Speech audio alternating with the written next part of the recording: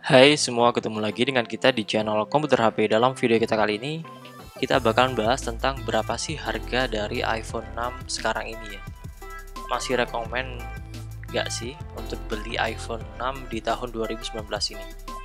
Nah, sebelum kita lanjutkan lebih jauh, boleh dong kalian subscribe dan like video ini dan aktifkan tanda lonceng supaya kalian dapat memberitahukan ketika ada update terbaru dari channel komputer HP ini ya.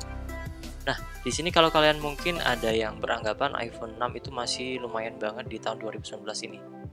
Padahal bisa dikatakan iPhone 6 itu tanggal rilisnya adalah lebih tepatnya bulan Desember tahun 2014.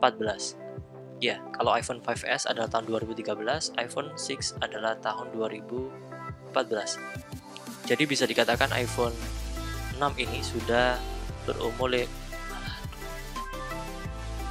jadi bisa dikatakan iPhone 6 ini sudah berumur 5 tahunan.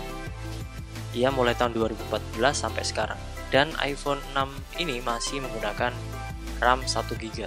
Karena untuk RAM 2 GB baru dimulai di iPhone 6s. Nah, kalau ngomong-ngomong masalah harga, berapa sih harga dari iPhone 6 ini? Kalau kita cek di harga pasaran, pasarannya sekarang adalah sekilas seperti ini ya.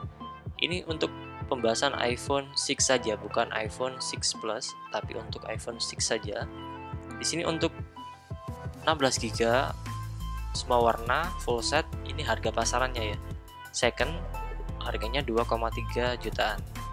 Kalau yang iPhone 6 32 GB gold tapi dari iBox atau full set resmi dari Indonesia itu 2,8 juta. Sedangkan untuk iPhone 6 64 GB semua warna full set itu dijual 2,9. Ini saya ambil dari harga pasaran salah satu penjual di Plaza Marina Surabaya. Dia mematok harga sekilas seperti ini ya. Untuk iPhone 6 128 GB full grey full set 3,1 juta. Kalau kalian beli iPhone seperti ini, ada kata-kata full set ya memang full set ada box ada charger ada headset ada kemudian kabel data kemudian ada buku manual dan lain sebagainya.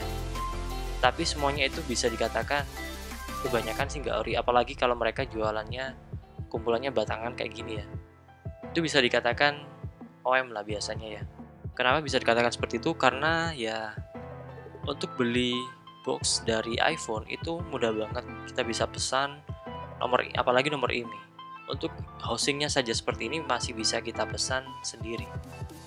Atau bisa kita pesan custom kemudian bisa kita pindahkan untuk memindahkan mesinnya.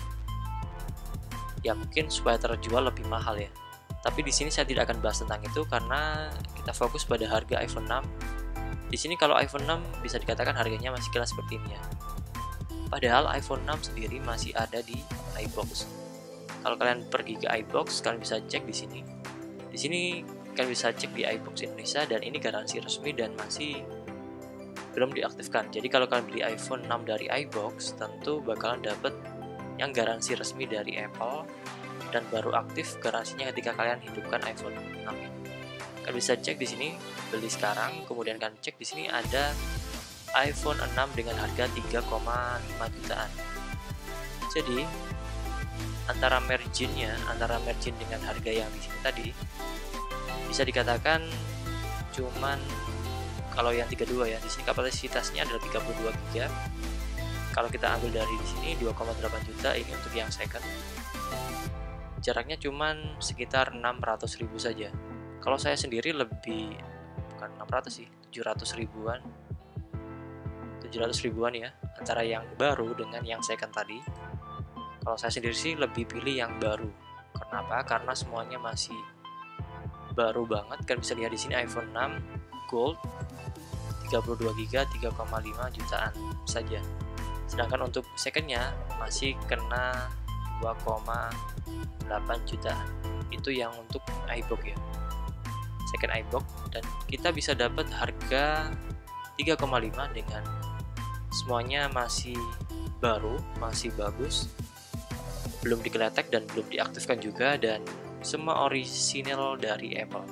Mulai dari headset, kemudian kepala charger, kemudian kabel data, stikernya juga ada, semuanya masih baru. Dan itu jaminannya dari Apple sendiri dan juga dari reseller resminya yaitu iBox atau Era Phone. Jadi kan bisa mendapatkan dengan harga sekilas seperti ini ya. Tapi apakah masih rekomend buat beli iPhone 6 di tahun 2019 ini? Kalau saya sendiri bisa dikatakan iPhone 6 ini sudah nggak rekomend ya. Lebih baik kalian jangan beli iPhone 6 untuk tahun 2019 ini lebih baik kalian sisihkan uang sedikit untuk iPhone 7 bekasnya itu untuk yang kapasitas 32 GB masih di kisaran angka 3,8 sampai 4 jutaan untuk second 32 GB nya jadi dengan uang 3,5 juta kalian tambah 500 ribu lagi kalian sudah bisa mendapatkan iPhone 7 32 GB tapi bukan iPhone yang baru tapi iPhone second 32 GB itu bisa dikatakan X internasional ataupun garansi resmi. Ya sesuai dengan kemujuran kalian untuk mendapatkan iPhone bekas itu bukan yang 7 plus ya tapi yang 7 biasa.